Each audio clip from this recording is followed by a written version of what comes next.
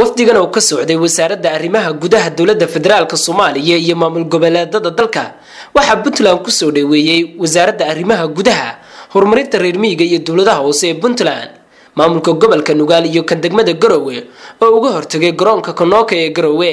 Muhiimada socdaalka wafdigani waxa uu yahay isdhexgalka wasaaradaha arrimaha gudaha ee dowladda federaalka iyo maamul goboleeda dalka iyo in laga faa'iidaysto khibradda maamul ee dowladaha hoose ee puntland sida wafidiyeenka u sheegay agaasimaha guud ee arrimaha federaalka iyo dib u heshiisiinta wasaaradda arrimaha gudaha ee dowladda federaalk soomaaliya maxamed cabdiwahaab.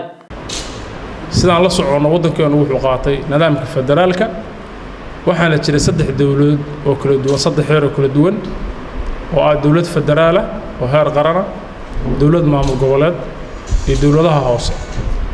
Dowladaha hoose waa meesha ugu dhow oo dadka muwaadiniinta ah ee waddankan leh adeegga dowladnimo loogu qaban karo talada loogu dhowey karo baahiyahooda lagu ogaa karo waxay uga baahan yihiin dowladdana ay u gudbisan karaan loona qaban karo.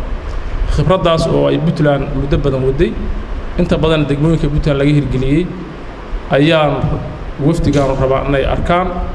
Kadibna maamul goboleedyada kale ee waddanka ka jira khibraddii lagu celiyo laga hirgeliyo waddanka dowlado hoose ee la soo doortay maayars la soo doortay adeegiina dadka loo dhoweeyo. Ujeeddada labaad ee safarkan maantaan isugu nimid ama wafdigaan u yimaadaan waxay tahay dadka soomaaliyeed ee walaalaha ah inay isdhex khibradda kala duwan wadaagaan maamul kale ee cusub sida hirshabeelle galmudug koonfur galbeed iyo jubbaland ayaga laftooda khibrad badan bay u leeyihiin meelo badan oo ka mida dowladnimada. Khibradda ay leeyihiin inay la wadaagaan galmudug puntland inay la wadaagaan la sheekaysto la isdhex galo korna loo qaado isdhexgalka gudoomiyaha gobolka nugaal cumar faraweyne waxa uu tilmaamay in wafdigani ay yimaadeen dhulkoodii wasiirka arrimaha gudaha horumarinta reer miyiga iyo dowladaha hoose ee puntland.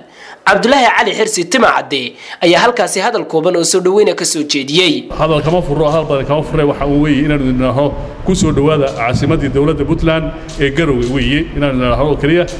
Hadal badani kama fura khudbada badani kama fura ujeeddadu waxa weeye soo dhowaada khudbaduhu waa inoo dambayn doonaan wadahadalku waa inoo dambayn doonaa.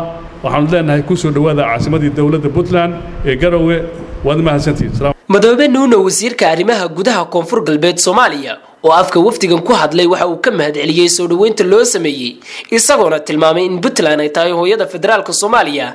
Waa sida uu hadalka u dhigaye sidaad noo soo qaabisheen iyo niidsamida aad noo muujiseen annagoo aad iyo aad ugu faraxsan mahad ballaaran ayaan idinkaga soo jeedinaynaa soo dhoweyntaas qiimaha leh.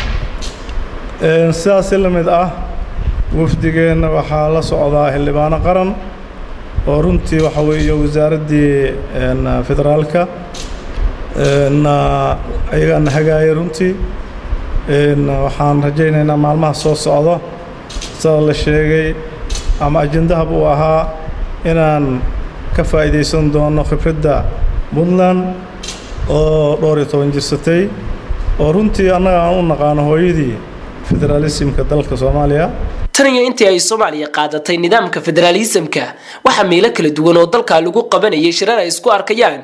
Dowladda federaalka iyo maamulada dalka si loo kala faa'iidaysto loona helo isdhexgalka bulshada soomaaliyeed. Maxamed saalax s b c garowe